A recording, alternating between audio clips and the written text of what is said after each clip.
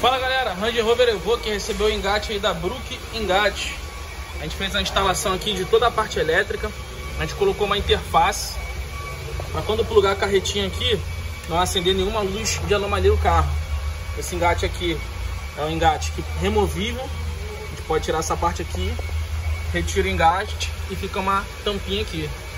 Então a gente pode instalar engate em qualquer carro, não acende a luz de anomalia no painel. Material aí não influencia em nada na garantia do veículo. Quer colocar o engate no seu carro, vem para Cartóis. Valeu!